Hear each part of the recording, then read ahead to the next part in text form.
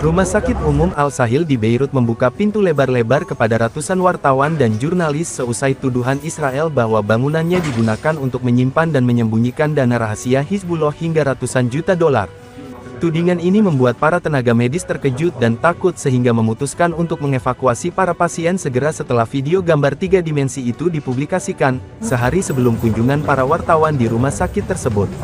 Penelusuran para wartawan tidak membuahkan hasil sama sekali yang mengartikan bahwa Israel kembali berbohong atas nama pembelaan diri dengan data intelijen yang palsu untuk mencari alasan menghancurkan fasilitas umum di Beirut, Lebanon, sama seperti yang pernah dilakukan ketika Israel mengebom rumah sakit Al-Shifa di Gaza.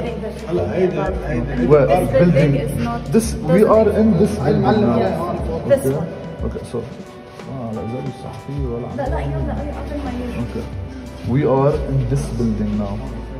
Here. Directly here. This is a parking lot. Oh.